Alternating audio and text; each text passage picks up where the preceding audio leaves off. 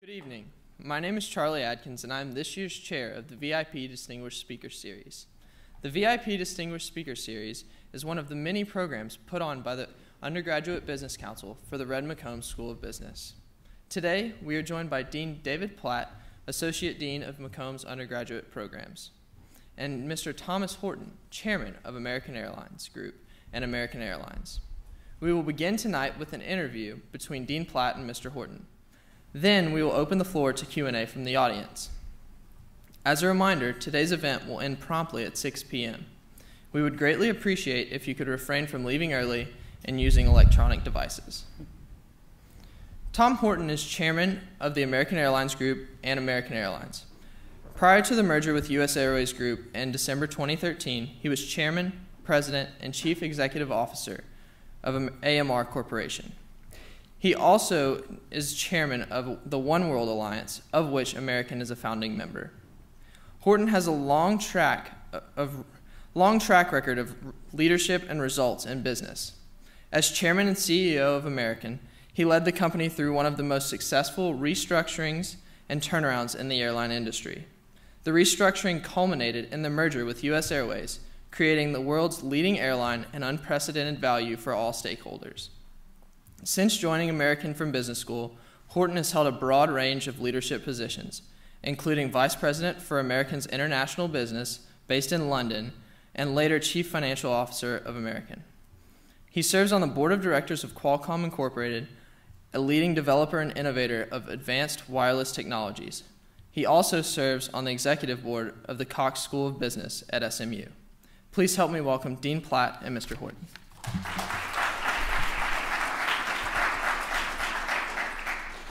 Thank you, Charlie. Is this on okay? Everybody here? Great. Test, can you hear me? Yeah, okay. Yeah, sounds good. Maybe just I'll move mine up a little bit. There we go. Well, thank you for being with us. We Thank really you for appreciate you spending the time and uh, look forward to, to learning from your experience and hearing about some of your experiences. Uh, we, tip, we traditionally start off with a question from the prior speaker, who in this case um, was Ravi Saligram, who was the former CEO of OfficeMax. And so I have his question here. I'll read it to you and uh, give you a chance to respond.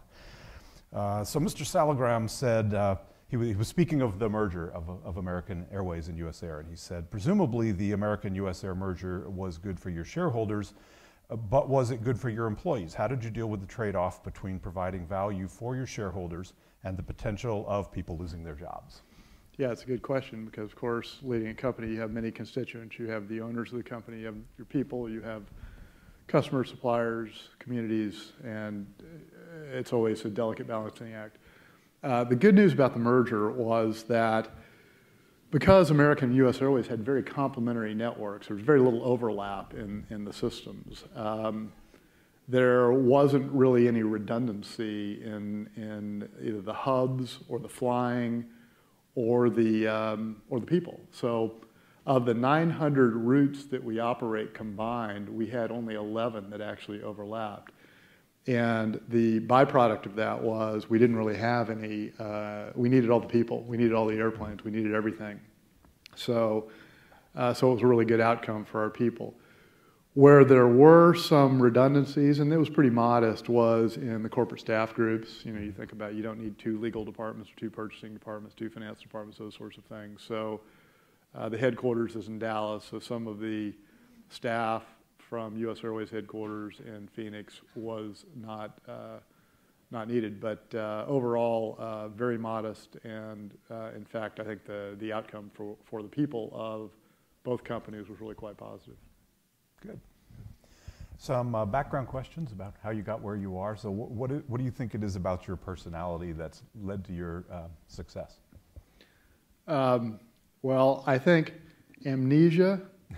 and the reason I say that is I actually left the airline industry and I forgot how hard it was and I came back. So um, I, I did come back to the airline industry back in, uh, back in 06. I was away for four years uh, in the telecom business uh, at AT&T. And um, uh, seriously, to answer your question, I think it's probably um, persistence, uh, stubbornness, and you know, I think early on in this restructuring, we can talk a little bit more about this later on.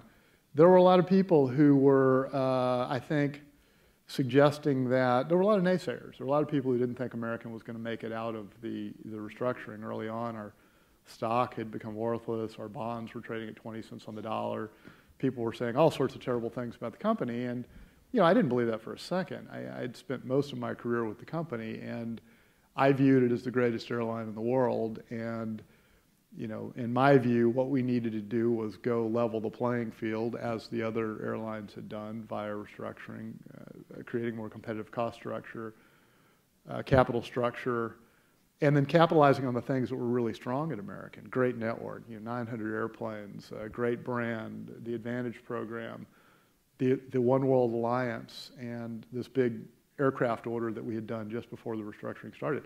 All those things were huge assets, and in my view, if we address those things, we would make the company very successful. So I had sort of a dogged, maybe persistent belief in that. And, uh, you know, I think, uh, you know, I think uh, people eventually, you know, got, got behind that. And that's, you know, that's where we landed. But, you know, stubbornness almost to the you know, point of dumb optimism. in, in terms of your, um, your, your position now coming, coming out of the merger and coming out of the, the uh, restructuring, what are the things as chairman of the company um, that, that keep you up at night these days now that you're trying to find the way forward from here? Well, I, I don't stay up at night. I sleep pretty well. um, but I will tell you um, that this, you know, the job of CEO, and, and I hope you know, many of you one day will, will do that job or, or a job of, of you know, leadership. Uh, uh, you know, it's, it's pretty all consuming. It really does take, you know, 24, 24 7. You're on the whole time. And in this industry in particular, um, you know, safety is first and last and everything in between. Um, we, you know, we're not building dishwashers. We're putting people in the air. And, uh, 6,700 flights a day. You know, hundreds of thousands of people putting on board our airplanes. And so you think a lot about safety. Mm-hmm. And, um, and you know that, you know, the buck stops with, with you. And um, so I, I, thought, I thought a lot about that. And, you know, you never, you, you never want to get that phone call in the middle of the night. And, you know, uh, thank the Lord I never did. And, and I just think, it's important to remind yourself, and I would always remind our team that, you know, whether we think about uh, new airplanes, customer experience, in-flight video, food on airplanes, all the things that we try to do maybe better than the other guy, the most important thing we do every day is, you know, get them up and get them down safely. Yeah. Yeah. So when you when you get up safe the next morning, what's the thing that gets you up in the morning then? What's the exciting part? I like to run, so that's what okay. I do. I, I, get my day started running. Uh, I usually get up about 5.30 and shoot straight out the door and, and go get in a run wherever I am uh, in the world. And I just find it's a great way to clear the head, you know, kind of level yourself for the day. Mm-hmm. I run most every day. I might skip a day here and there, but and I do it uh, when I travel, which I think is really really helpful. And and I love it because I travel a lot in this job. Uh, there's nothing greater than just landing in some city you've never been to before and just shooting out the hotel door and going for a run. It's just a great way to sort of get the tempo of the city and and uh, get a feel for the place, and then you know then get off and take on the day. So that that's what I do in the morning to get started. And it, so is that the, that the secret to dealing with jet lag? I, I think so, actually. Um, I'm sure all of you have traveled a lot. I, I, hope you do. I hope you travel more, but. Um, I find that uh, long trips, I used to do the London Dallas trip all the time because I, we lived in London, and uh, you know, land London early in the morning, and I would always get off the plane and shoot right out to the park and go for a run. And I found that doing that, you know, great way to sort of shake mm-hmm. the jet lag and get on with the day, go to work. Yeah, I had a, this weekend we were doing some um, recruiting events, student recruiting actually, trying to get some accepted students to come here, and had an interesting conversation with a, a father who. Um, he and his daughter disagreed on this. She really wanted to do some international experience while she was here. And he kind of said, well, why, why do you need to do that? You know, you, you've traveled some with the family. Um, what are you going to get out of doing that? So I was just curious, knowing that you had been in London for a while, what you thought about the international experience and how important you feel it is toward a career. Oh, I think it's I think it's invaluable. I, I think you know, the most important thing is what is the experience, not necessarily whether it's U.S. or international, what have you.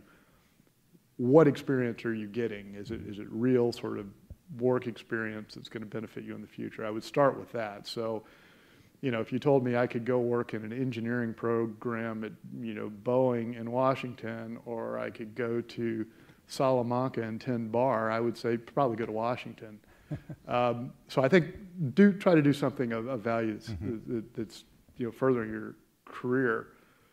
But international experience is great, and uh, because it just gives you you know sounds cliche, it just gives you a different perspective on the world. We lived in London for two years.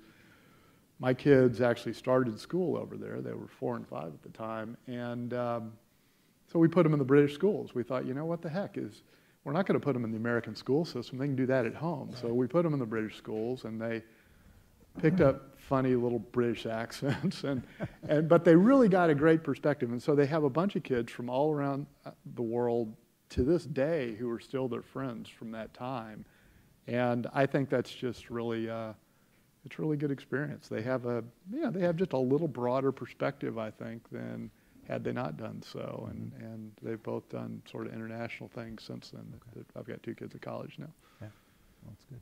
So you started us off with your run in the morning. What, what's the rest of a typical day like? Well, there's, there's not really a typical day uh, in this job, and that's probably true of, of, of, you, Dean, so many people. The days don't tend to, tend to be typical, but it depends on the travel schedule. So in a, in a, in a CEO job, you do travel a lot. Um, you have a whole lot of constituents, as I described a minute ago, that you're, you're, you're thinking about. You're, you're thinking about um, uh, your people, your customers, your investors, Wall Street, um, the government, uh, uh, the communities you serve, suppliers. You've just got a whole lot of people who are important to the success of, of the company. And you know that involves, over the course of the year, spending time with them. Um, so and of course, you have a board of directors who uh, you have to spend some time with. So I think it really starts with um, when you're in this job, creating a, a, a, kind of a governance structure, a governance timetable. So, but that one that creates a lot of flexibility. So we would uh, at American, of course, that starts with the board meetings. You've got, you know, five or six board meetings a year. Those are scheduled well in advance. Everybody knows when they are, and those tend to focus the mind on what you're going to talk about and what you're going to educate uh, the board on. Um, every week, we would get together the top team, so the CEO and the top, uh, the top 11 direct reports. We'd get in a room and uh, on Tuesday morning and spend most of the day together. And that would be a forum for you know, folks in the company would know that if we've got a big decision we need to make on aircraft configuration, that's the body you're going to bring it to, and we'll deliberate and then, you know, make a decision to move on. So we do that weekly, and everybody know they could sort of plan their week around that. Uh, every other week, we'd get together all the vice presidents down to the sort of top 50 uh, folks at the company, and uh, that would be more information sharing. Make sure everybody knows what we're doing, when we're doing it, why we're doing it, so they can communicate with their with their teams. Was a company with, at that time, 80,000 people. It's now 110,000 people. It's very important that your senior leaders know what's going on. They're well informed and they know how to articulate that to their to their troops and down the line. So we do that every couple of weeks. Um, and then around that, you know, you would schedule uh, schedule travel to uh, you know visit uh, field operations, uh, uh, visit with the troops. Um, you know, get to Washington and make the rounds as, as necessary to advocate for things that are important to the company. Um, get out and see customers. Uh, you know, American has a lot of sort of big corporate customer accounts, and we would spend time with them and let them know that they were valued and take their input. Um, some international travel. Um, American is a leader in the One World Alliance, um, and I've served as chairman of, of that alliance, which includes British Airways, Cathay, Qantas, Japan Airlines, LAN down in Latin America, and uh, a, a, number of other airlines. It's important to sort of keep that group together. So we had a whole governance structure around managing the alliance, which is you know, a little bit of herding cats. So, um, so there were a lot of you know, a lot of constituents that you're, uh, it's important to, um, to pay attention to. Mm-hmm. So you have this weekly meeting, and you're by nature an inter- very international company, and um, so you have this Tuesday meeting. I think you said Yeah. where everybody's together. Yeah. Was that a key point in the week for everybody? Was everyone expected to be back at, Yes. at headquarters for that day? Yeah, yeah, everybody would be there.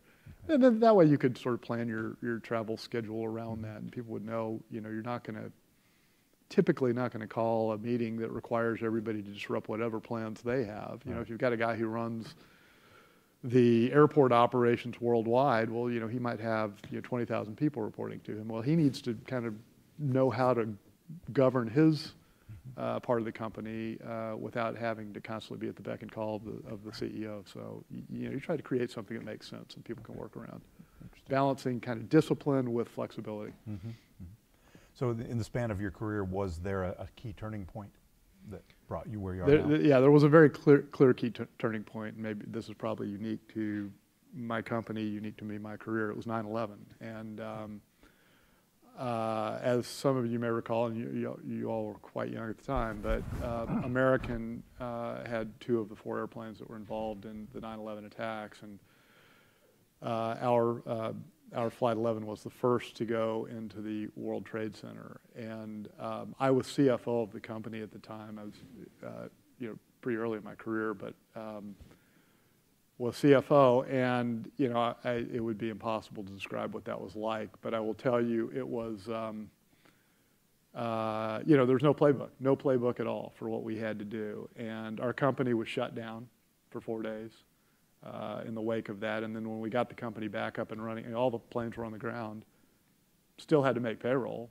You know, we didn't have any revenue coming in, but we still had to uh, pay our expenses. And um, and we on the morning of 9/11, we were uh, we were in the process of launching a two billion dollar bond offering, which was going to be the biggest uh, financing ever in the industry. That was our sort of financing for the days forward. We had just completed the acquisition of TWA, so it was a really complicated time for American. Needless to say, when the plane hit the tower, the financial markets were done, the financing fell apart, we didn't get the financing, we didn't have any revenues, it was hairy.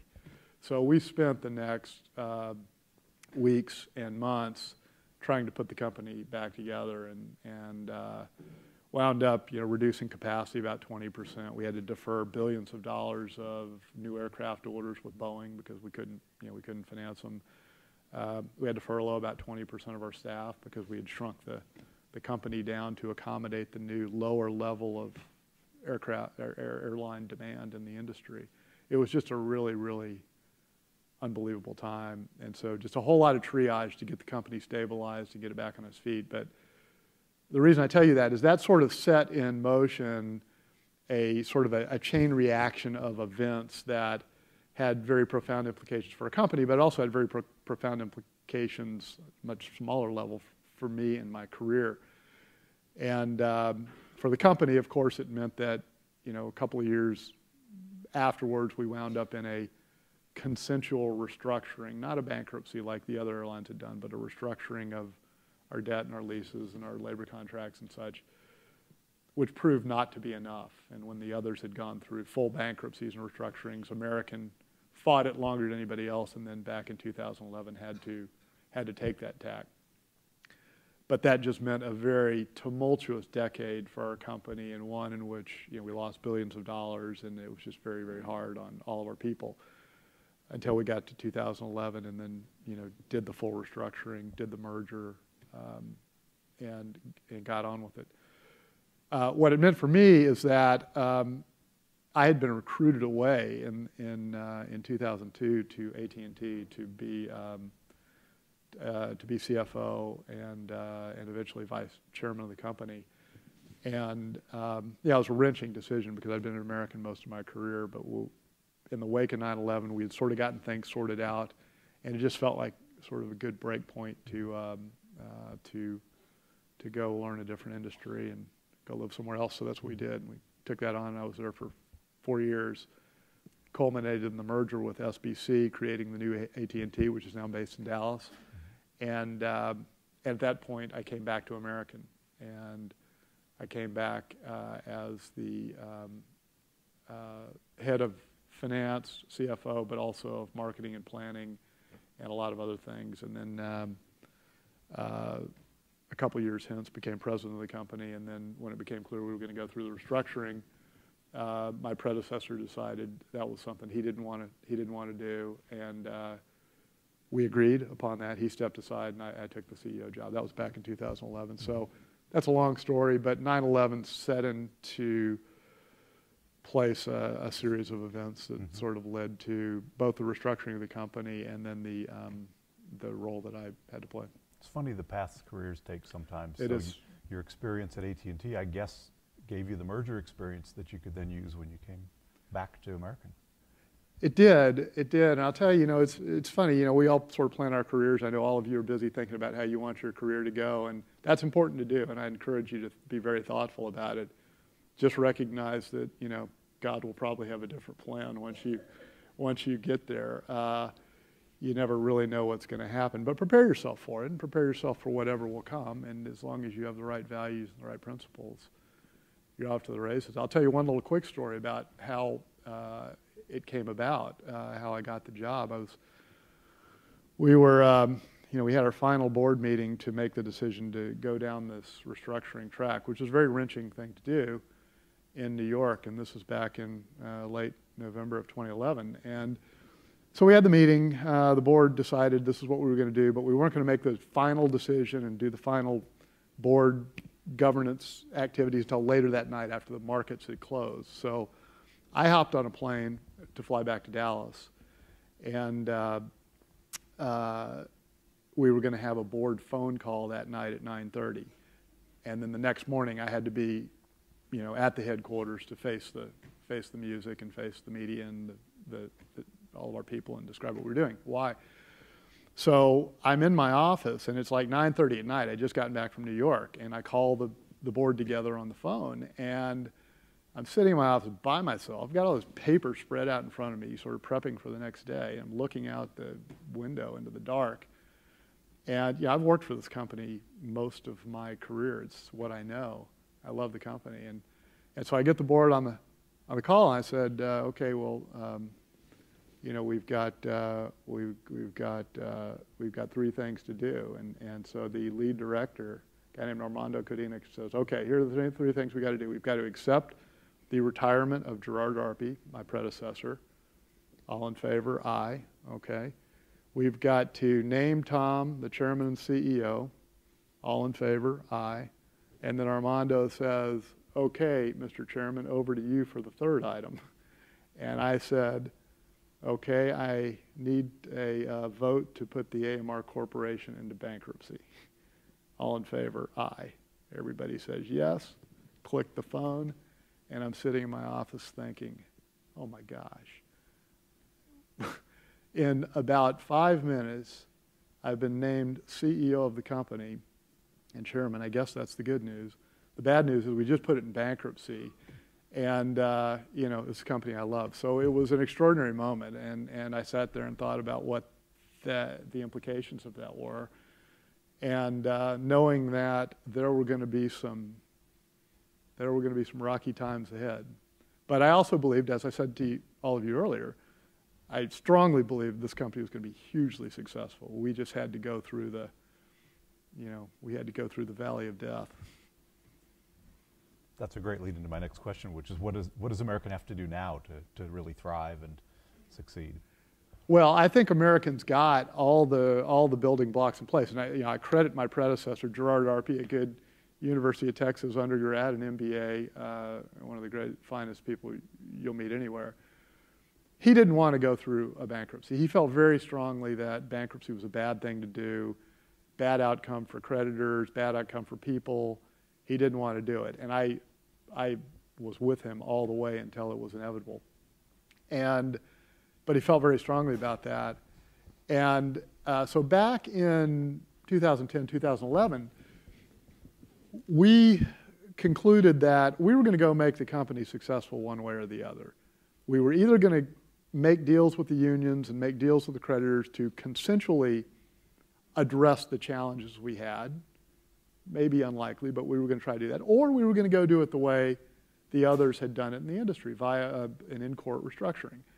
You know, United had done it, Delta had done it, Continental had done it twice, TWA had done it three times. I mean, this is old hat in the, in the airline industry. We didn't want to do it. But we knew that one way or the other, we were going to fix the company. So we set about, under Gerard's leadership, taking some very seminal actions. We restructured our network around our five big hubs New York, Chicago, LA, Dallas, Fort Worth, and Miami. We built out our alliances, the One World Alliance that I described to you, and we built a, a joint venture with British Airways across the Atlantic and across the Pacific with Japan Airlines. And maybe the most seminal was we went out and did uh, the biggest aircraft order in the history of the industry 460 new jets from Boeing and Airbus. And we got those guys, we said to them, hey, you know, we, would like to order a ton of airplanes. We don't have any money. so, so they brought $13 billion in manufacturer financing. So we got all of that set up and ready to go. And then we thought that would be a great catalyst with the union. So we went to the pilots union. We said, look, we can put this company on a turbocharger, but we're going to have to make the right sort of um, uh, changes to the contract to have sort of next generation labor contracts like all the other guys got via bankruptcy. If we can do that, we can grow the company because we have all these airplanes on order. And that means jobs, that means advancement, and that's, that's good for, for you. Well, a very long story short, we couldn't make that deal because I think the unions politically couldn't get there. It was just, they had to get the, deal ratified. While they knew changes needed to be made, politically they couldn't do it. They really needed the cover of a, of a full restructuring. And that may sound strange, but that's just the way it was. So when they said no, our board said, okay, time out. It's time to go. Let's go do this the way others have done it. We'll, we'll make it, the company successful. And, and, and that's, that was the genesis of, of the bankruptcy. But very long-winded answer your question, Dean, which is we had a lot of the building blocks in place. So today, now we have all of those things, but we also have a competitive cost structure, a very strong balance sheet, lots of cash, um, a steady stream of new airplanes and new products. So this year we'll take 100 new airplanes into our fleet. That's unheard of in the industry. So we refreshed the brand. You see the new look of the American Airlines planes. Uh, we're hiring lots of new flight attendants and pilots, which has a nice sort of uh, product effect. Um, so a lot of things are being renewed, and, and then we completed the merger. So American is now, again, the largest airline in the world, and um, this year, uh, I predict, will be the most profitable airline in the world. And so I think all of those are really good. Now let's come to what must be done right. So I think the tailwind is enormous we have to integrate these two companies successfully, American and US Airways. And integrating airlines is very complicated business. You have to integrate the fleet, you have to integrate the workforces, uh, integrate the IT systems, and we have to do that well, and we have to do it in a way that our customers say, yeah, the merger was good. No, it, it wasn't, it wasn't bad.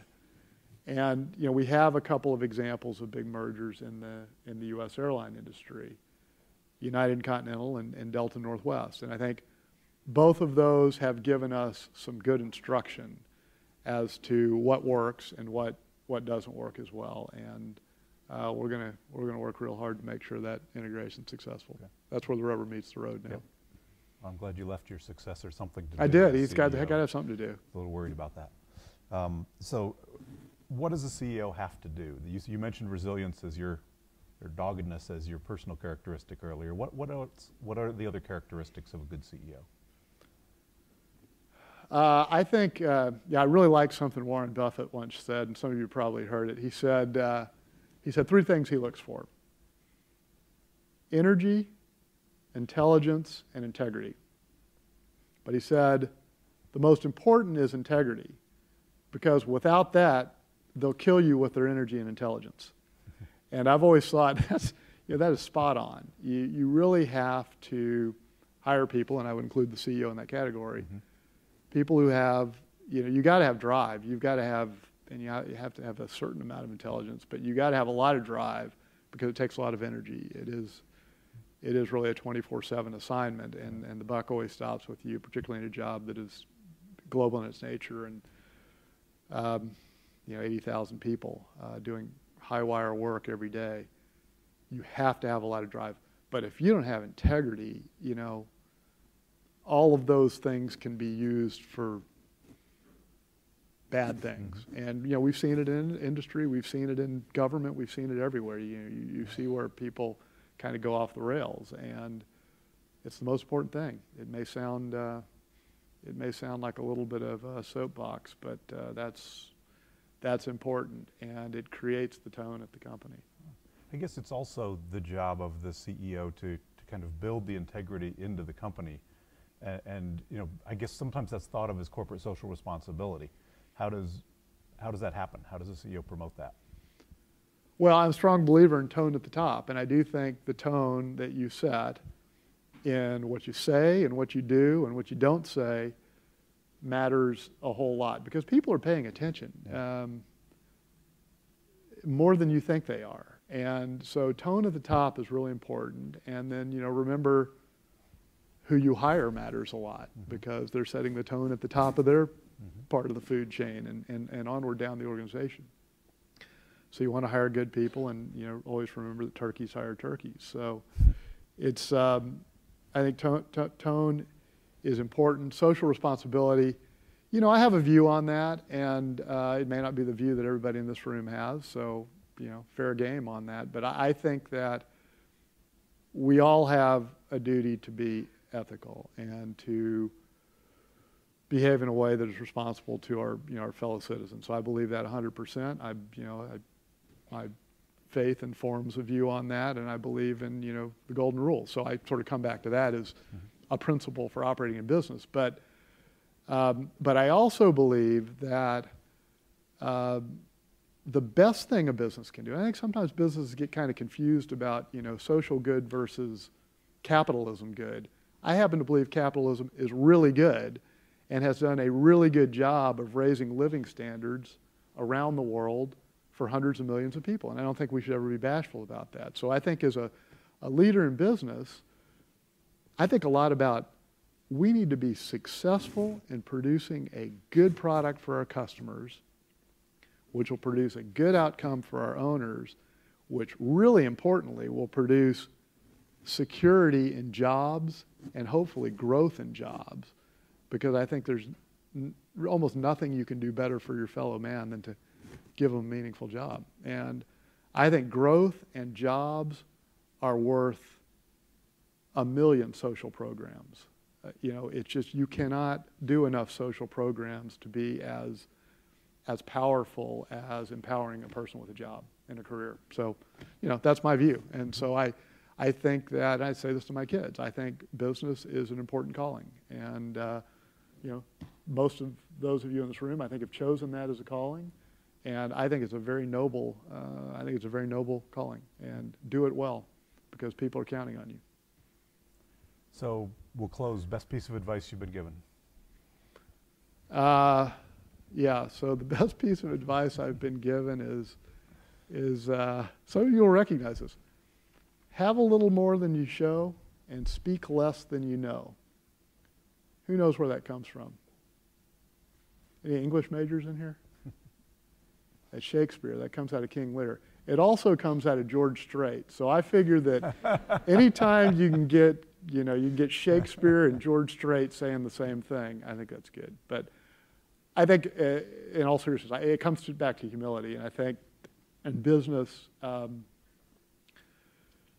uh, I don't care who you are, whether you're you know the guy tossing bags or you're the CEO. It's important to uh, you know remember your place in the universe, and I think it, it is important to be humble.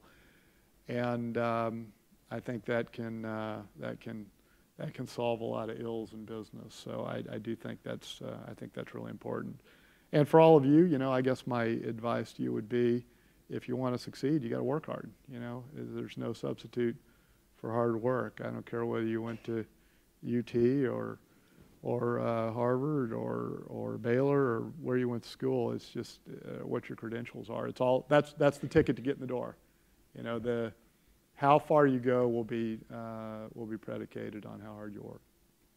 Thank you. We have a little while set aside now for questions and answers, and there are microphones in the aisles. So if you'd like, if you have a question, just line up by one of the two microphones, and we'll go back and forth and try to get to you as quickly as possible.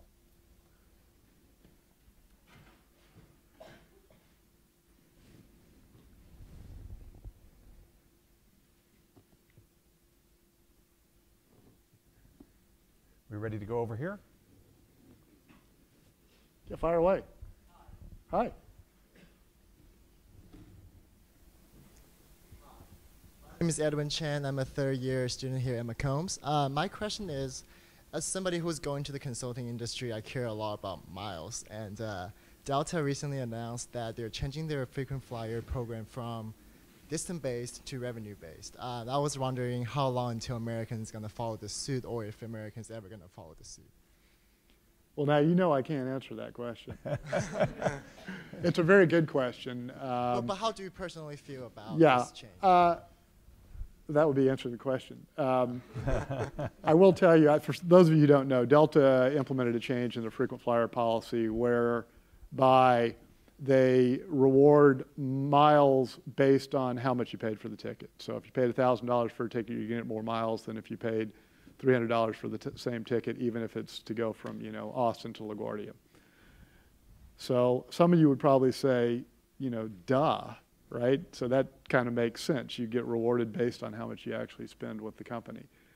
Um, so I think um, I think what they did was interesting, and uh, I think there is economic logic for it.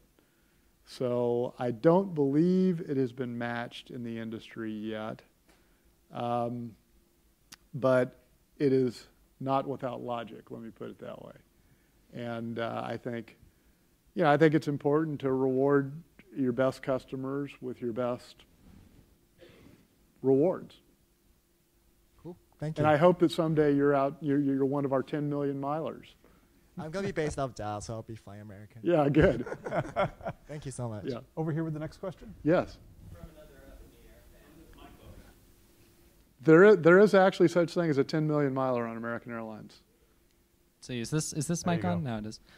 Um, so when you voted to put AMR into bankruptcy three years ago, I suppose, did you think that a merger with U.S. Airways or somebody else was the likely end game, or did you realize that later in the end? Yeah, so we talked a little bit about this earlier, and I'll, I'll try to give you a succinct answer because it's a very complicated question.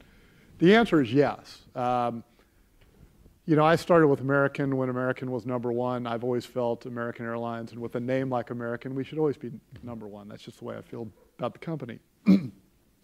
so, um, the others, over the course of the last decade, the others had both gone through bankruptcies but also merged. So, when we were in, you know, end of 2011, a little over two years ago, um, you know, the company was really in bad shape.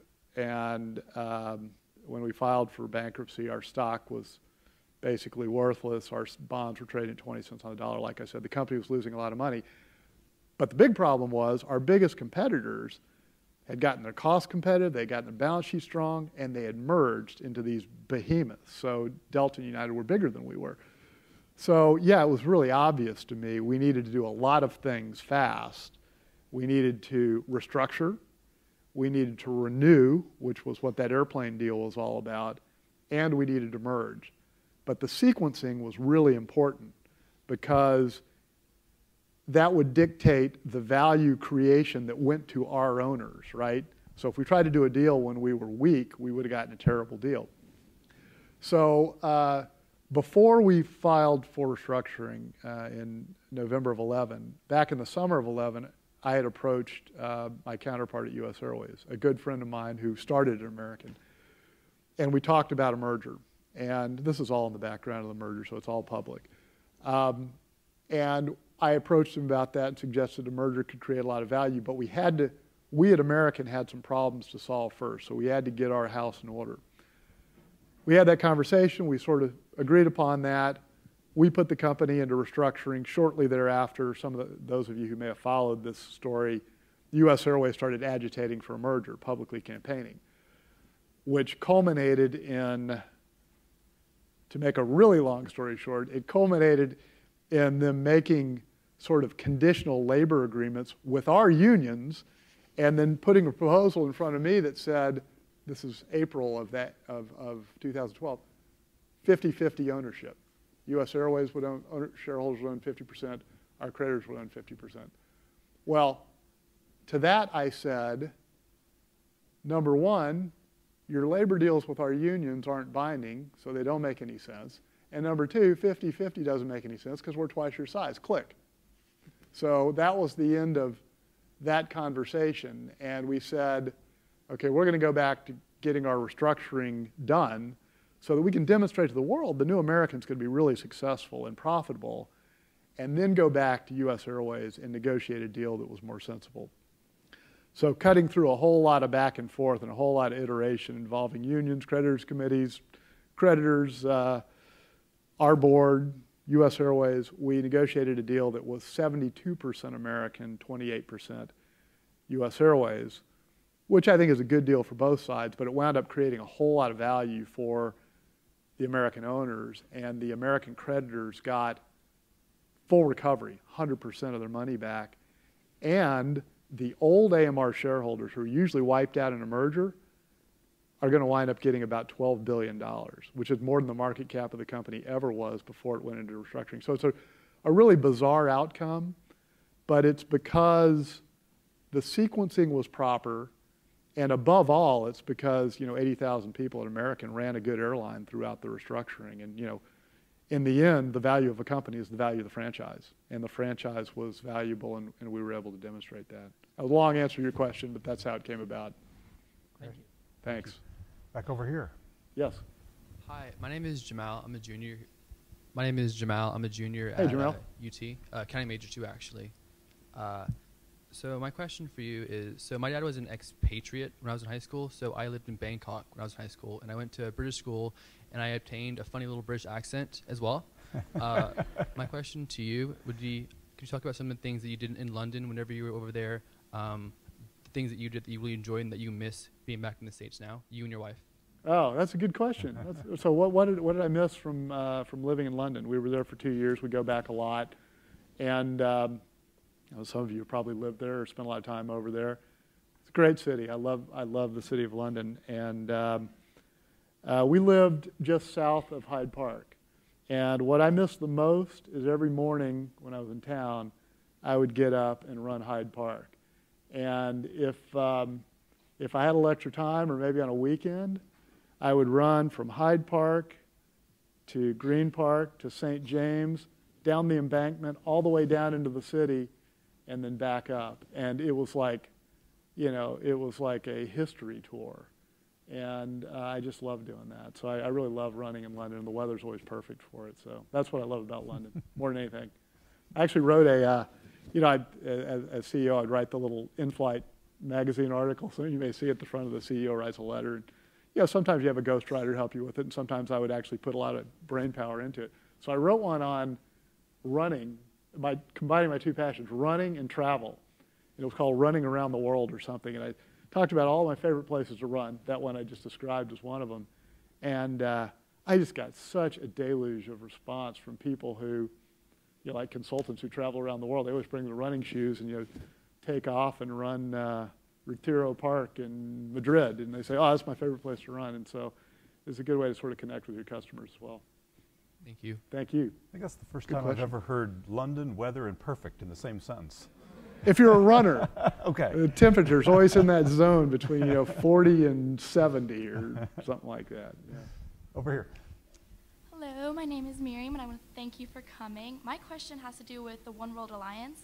I'm curious about like the dynamic of working with that, of being a leader of that. Could you elaborate on that, please? That's that, that is a good question because you know while I'm the chairman of the One World Alliance, none of those people actually work for me. so so you know. The other people on the board of One World Alliance are, you know, the CEO of IAG, who owns British Airways and, and uh, Iberia, you know, the CEO of Cathay Pacific, the CEO of Qantas, the CEO of all those airlines. And so it is a little bit of herding cats. So it's a bit of a, um, it, it's more of a diplomatic assignment uh, because you're trying to make good decisions. And above all, what we're trying to do is create uh, a product for our customers that works well. So you can fly on American, you can fly on BA, you can fly on Qantas, and you know that's pr- produced a good outcome for, for our customers. But each of the individual airlines is trying to optimize its own, you know, its own network, its own profitability, and so sometimes there are conflicts that come into play, and uh, that is tricky.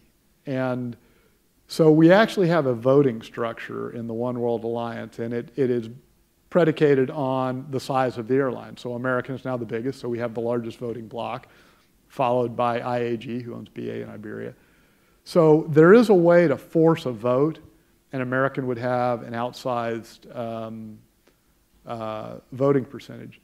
But you never really want to get to decisions that way because if you do, then people, you know, somebody's unhappy, and so it's a little bit of, uh, it's you know, a little bit of cajoling, a little bit of you know, trying to iterate to the right answer and have people feel good about it. It's not easy. I will tell you that. And that's why, you know, you probably, if those of you who fly in alliances, whether it's the good one, One World, or those other ones, um, you know, you probably notice that there are some policies and procedures that don't feel like they're just perfectly optimized for the customers. And the reason is probably not that we're stupid, but that somebody has a different motivation and you're trying to line those things up as best you can and you know you haven't completely gotten there. I will say that uh, once you get to a joint venture like we did with British Airways and Iberia, so we, we basically pool all of our revenue on the Atlantic. So I don't, doesn't make any difference to me whether you fly on an American plane or a BA plane because we're going to put that revenue in a pot and split it up based on capacity. So that allows you to more quickly optimize decisions. So you're not, you know, you're not trying to outsmart each other because, you know, it's all the same pot. And uh, that, that was how we got to, for those of you who are kind of airline junkies, full reciprocity on frequent flyer. So, you know, you can use your AAdvantage miles to fly on BA across the Atlantic. You can use your Executive Club miles to fly on American across the Atlantic or anywhere either of the other airlines flies. We had a big food fight over that for years because we believed the AAdvantage program was so valuable that if, we let BA's customers do that, then they might, you know, there, there would be value shift from American to BA. Once we aligned the economics, then, you know, we didn't have to have that food fight anymore. So it's getting better. And I think you'll see these alliances morph more into uh, uh, these joint ventures, which are effectively like, it's like a synthetic merger. And uh, so you'll see more of that, I think. In fact, over time, I think you'll see actual mergers between these big international airlines. That's going to come someday. Thank you. You're welcome. And back over here. Uh, my name is Montana Moore, and I'm a freshman at McCombs. And I know as a leader, you've had to make a lot of really tough decisions that not everyone is going to be super happy with. Not everyone. Yeah. So my question is, what are the strategies that you use in order to make like everyone feel like they're heard and to make those decisions go off smoothly and successfully? Well, I'll, I'll, tell you the way I did it, and maybe it's not the best way, but it's the way I always thought about it. so at the outset of this restructuring, as I described, we had to do a lot of hard things, but we had to do them in the context where all the pundits in the industry were saying Americans dead, right? So our stock was crushed, our debt was crushed, you know, we just had a lot of challenges to work through, and people were not saying kind things about the company. But I've got 80,000 employees who need to believe, right? Because they got to get up tomorrow morning and serve our customers. So, you know, on day one, in front of the cameras, I said, look, you know, we've got all these great things I described earlier, you know, the franchise, the AAdvantage program, the network, the new planes. 900 airplanes fly all over the world. This company is going to be a huge success once we go do what the others have done. And there were probably about five people that believed me when I said that. I said, you know, America's going to be hugely successful. Well, but somebody had to say it because everybody else was saying the opposite. But as we, and I believed it, and I think the facts bore that out, but as we began to make progress, then more and more people started believing. And uh, it was a little bit of a snowball effect. So by the time we got to the end of the restructuring, you know, we were taking a lot of new airplanes, delivering a lot of new products. The company was producing record profitability. We had negotiated this high wire merger inside the restructuring. And um, so once we got to that point, you know, a lot of people were believing. And you know, there is no surer protect, uh, uh, predictor of success than success itself. All right, you know, people, success breeds success, and people start feeling good about the company. But it took sort of standing up, and I, I, not just me, but the whole leadership team, to stand up in front of folks and say, "This is what we're going to do." Be very clear about it, and then go do it. Just, just deliver on it. And um, and it, I'm not saying this was me or my. This was 80,000 people who did it, but they had to have something to believe in. The principle that, that, that I tried to follow, and I use these words a lot, and more importantly, I hope I use the action, was we're going to do some things that are hard. And it's not going to benefit every, everybody. But the principle we're going to use is we're going to, we're going to try to do that which creates the best outcome for the most people. Right? So if we had done nothing, if we had done no restructuring, maybe we wouldn't have to, you know, outsource our baggage service in Omaha to a lower cost provider. Okay, we, no restructuring. Our company would have gone completely off the cliff and 80,000 jobs would have been at risk. So we had to do a lot of things. But if we did them right, we did them wisely, and we described them to all of our constituents as we, as we did them, and then we focused on building a bigger, better company, the outcome was going to be great for, you know, what is now 110,000 people. So but there were some moments there where I tell you, it was rocky. It was pretty rocky. Thank you. You're welcome. Well, Well, thank you all. It's always great to be at UT. It's a, it's a wonderful place. It's a gift to all of you to be here, particularly on a day like this. It's such a great, uh, great university. Thank you all for having me. Thank you.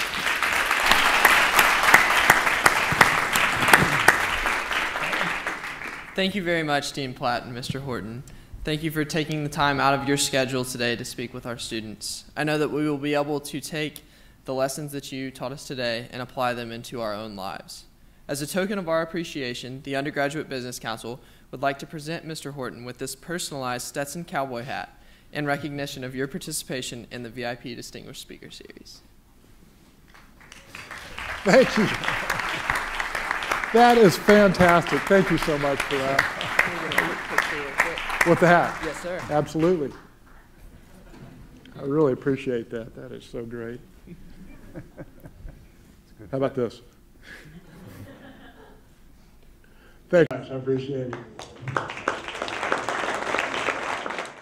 it.